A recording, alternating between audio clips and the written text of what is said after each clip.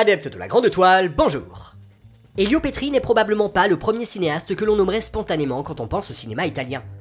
Pourtant, Ennio Morricone, qui composa 7 de ses BO, disait que c'était sur les films de Petri qu'il a pu donner le meilleur de lui-même en expérimentant de façon totalement libre. Le scénariste Tony Noguera, qui a travaillé avec de célèbres cinéastes comme Antonioni, De Sica, Fellini, Tarkovsky ou encore Angelo Poulos, disait quant à lui qu'avec la force d'une telle vision, Elio Petri ne devrait pas être oublié. Et pourtant, si on connaît ce cinéaste au moins pour deux chefs-d'œuvre, Enquête sur un citoyen au-dessus de tout soupçon et La classe ouvrière va au paradis, ces deux films sont souvent les arbres qui cachent une forêt passionnante et bien plus dense. Nous allons donc nous plonger dans une œuvre burlesque, contestataire, psychédélique, surréaliste, brutale et angoissée, mais surtout un peu méconnue, celle du cinéaste Elio Petri. Et pour l'occasion, cet épisode a été écrit par le taulier de la chaîne YouTube Zoanima qu'on vous invite bien évidemment à explorer.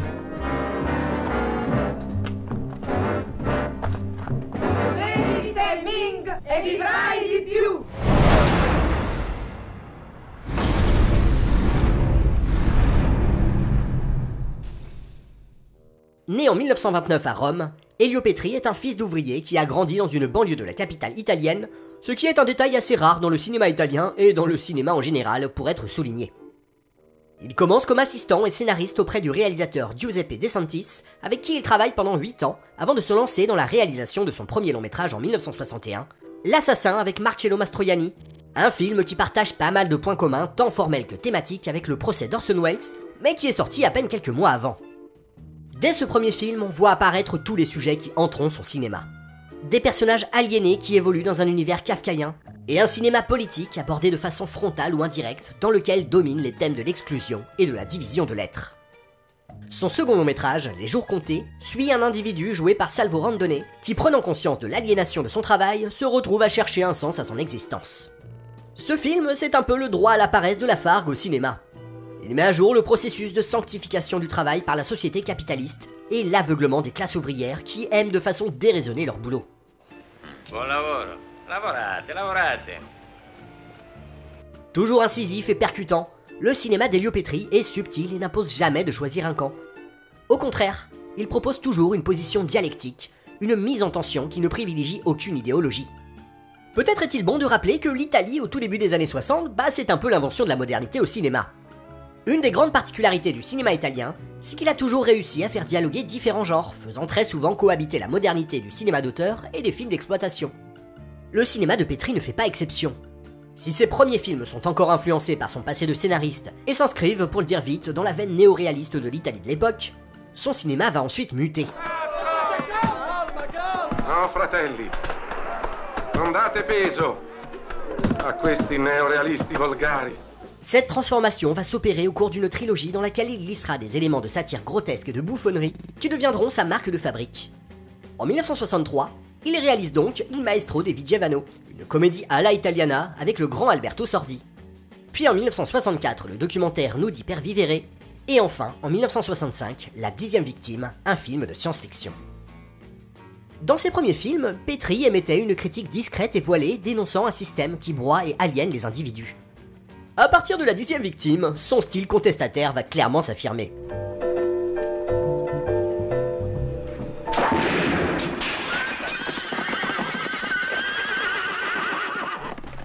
Dans ce film, Elio Petri transpose une nouvelle de Robert Sheckley dans une Italie futuriste en proie à l'invasion des objets de consommation et à l'intrusion des médias dans la vie privée. Produit par Carlo Ponti, qui détestait pourtant la science-fiction, et coécrit avec le fameux Tony Noguera que nous évoquions en introduction, la dixième victime va proposer une hypothèse du futur en dilatant les défauts de la réalité contemporaine, comme toute bonne dystopie qui se respecte. Petri va donc faire de ce film une critique du fameux miracle économique italien, ce qu'il avait déjà fait dans Il Maestro di Vigevano. Sous couvert de fantasy pop, il dresse un portrait sarcastique de la société italienne. Traitant de sujets tels que la banalisation de la violence, le culte de la jeunesse omniprésent, la marchandisation de la vie et de la mort, le sensationnalisme des médias et l'appui du capitalisme, le film déverse un humour corrosif, parfois absurde et souvent désespéré.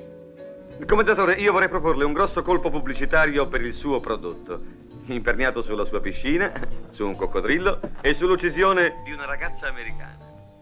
D'une lucidité effrayante héritée de Philippe Cadic, il anticipe l'obsession sécuritaire et les dérives fascistes au nom du bien commun.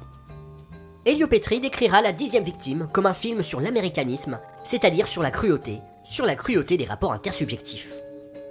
Si ce portrait de la société occidentale est déjà au vitriol, il y a pourtant une différence notable entre ce film de Petri et ceux qui vont suivre. En effet, on y trouve une forme de légèreté et une ironie douce amère qui disparaîtront ensuite au profit de films plus brutaux, plus secs et moins aimables si on peut dire.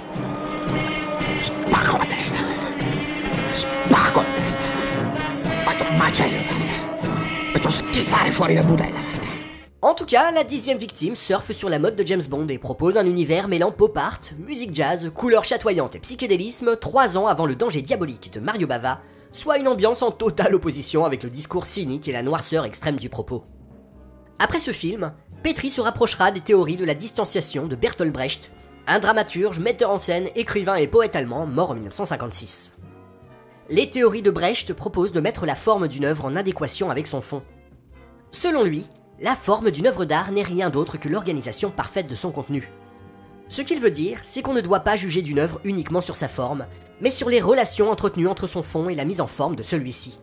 On retrouvera ces théories dans plusieurs médiums artistiques, et en particulier dans le cinéma des années 60-70, notamment dans les premiers films de Godard. Dans la dernière partie de La dixième victime, de multiples coups de théâtre vont désamorcer délibérément et perpétuellement l'intrigue. Par ce biais et par une mise en abîme de Marcello Mastroianni, Petri s'approprie les mécanismes de la distanciation de Brecht en noyant sa propre fin dans une suite de retournements de situation volontairement prévisibles et surtout sans panache. Petri surcharge les environnements, l'esthétique et le cadre, comme il surchargera ses films suivants d'une agressivité anxiogène. Le caractère envahissant des objets de consommation dans la dixième victime est là pour nous rappeler notre propre asservissement, faisant du film une parabole sur le consumérisme et l'aliénation. On retrouve cette surcharge des décors au début d'Enquête sur un citoyen au-dessus de tout soupçon, avec cet appartement à la décoration baroque et rococo, qui n'est pas sans rappeler la maison des frissons de l'angoisse d'Argento, qui sortira 5 ans plus tard. Il est d'ailleurs difficile de ne pas voir un lien entre ces deux films, ne serait-ce que dans l'ambiance très gialesque de la séquence d'introduction, ainsi que la présence de Luigi Couveillère à la photo, qui signera également celle du sublime Le Venin de la Peur de Lucio Fulci. En 1967, Petri réalise À chacun son dû. Ce film marque les débuts de sa collaboration avec le scénariste Hugo Pirot, qui durera jusqu'en 1973. Le film développe le thème de l'incapacité pour un intellectuel de comprendre la réalité. Dans son film suivant, Un coin tranquille à la campagne, il exorcisera ensuite cette impuissance de l'artiste et tentera de découvrir le langage révolutionnaire qui convient pour dire l'espoir, comme le dit l'historien et critique de cinéma Marcel Holmes. Dans ces deux films, Petri se penche sur sa propre aliénation d'artiste afin d'essayer de comprendre le réel pour enfin se plonger dans le monde. Sono molto interessanti i suoi quadri. Meno male. Mi sembra di capire l'espressione di una crisi. La crisi di un artista, si intende. La crisi di uno stronzo, signorina. Signor Perry. C'est au début des années 70 que son style va s'affirmer pleinement et qu'il entre en pleine possession de ses moyens. Proposant une satire politique très grinçante et ouvertement agressive, il gardera ensuite cet usage immodéré de l'outrance où les inventions formelles de son cinéma baroque le disputent à la rigueur de son propos. Un propos où l'on croise Karl Marx et Antonio Gramsci, ou encore Sigmund Freud et William Reich. De Marx, Petri retiendra la volonté de donner des outils aux classes populaires afin de s'émanciper et de se libérer des oppressions. De Gramsci, il garde la théorie de l'hégémonie culturelle, un concept qui décrit la domination de la culture par la classe dirigeante, ainsi que les croyances collectives en place des systèmes de domination.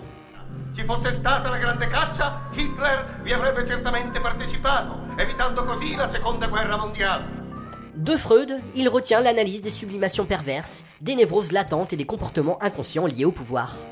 Et en plus de la question de la satisfaction sexuelle, il garde de Reich le fait des structures sociales comme maintien des névroses individuelles.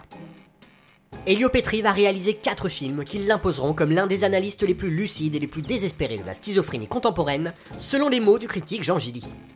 Ces quatre films vont composer une sorte de portrait sans phare de la société italienne, la décrivant dans tout ce qu'elle a de multiple et de contradictoire.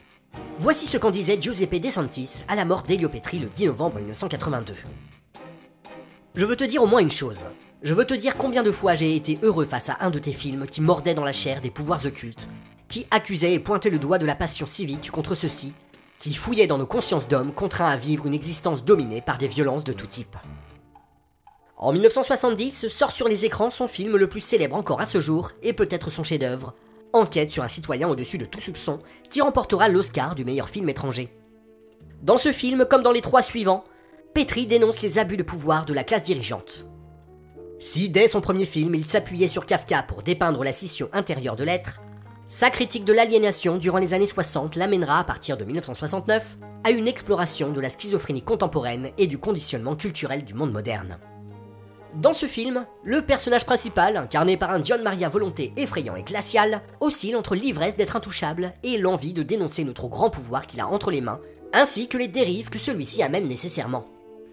Qui dentro l'unico colpevole sono io. Silenzio, un momento.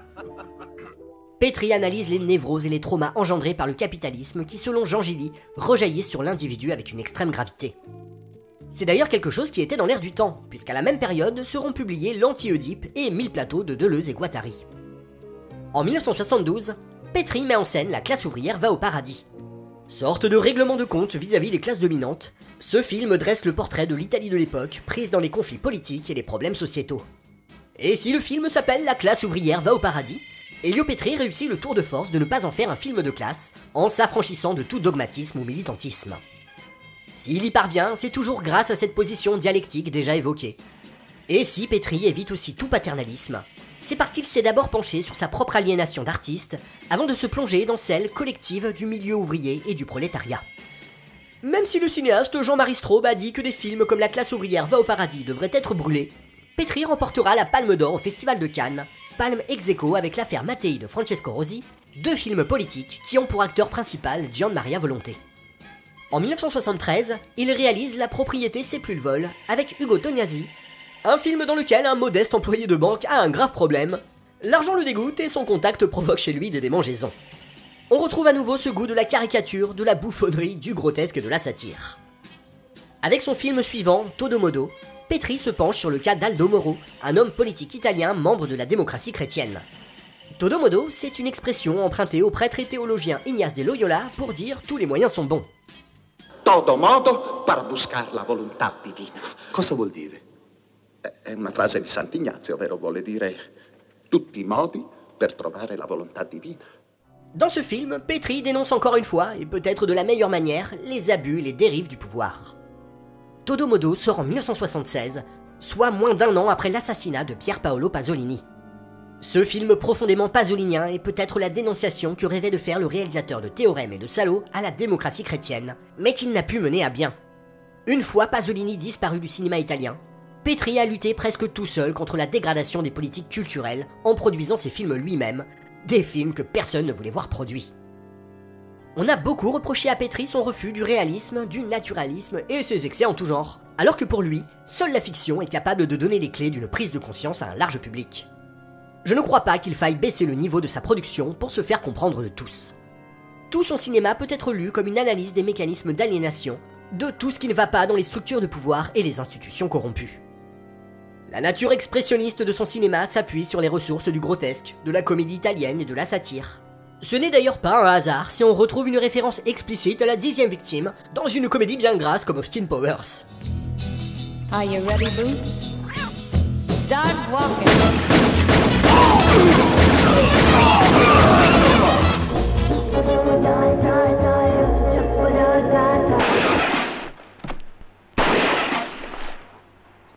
Petri use et abuse des artifices pour dénoncer les aberrations du pouvoir et ses dominations.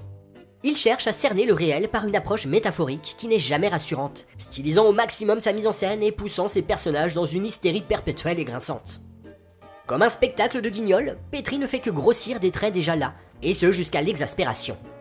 La comparaison avec Guignol n'est pas fortuite, car Petri fait de ses personnages des figures emblématiques, des sortes d'archétypes comme le gendarme de Guignol, les réduisant à des fonctions, leur refusant ainsi toute psychologie, et par là même toute humanisation, dans la plus pure tradition du masque de la commedia dell'arte, tradition qu'on retrouve de Machiavel à Sergio Leone en passant par Carlo Goldini.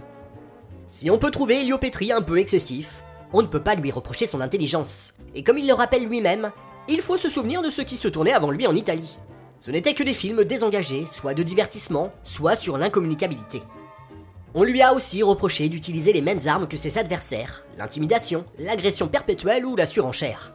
Mais là, nous en revenons à Brecht et à l'adéquation du fond et de la forme. Il utilise le langage adéquat pour parler de la façon la plus pertinente possible de thèmes bien précis. Eh no!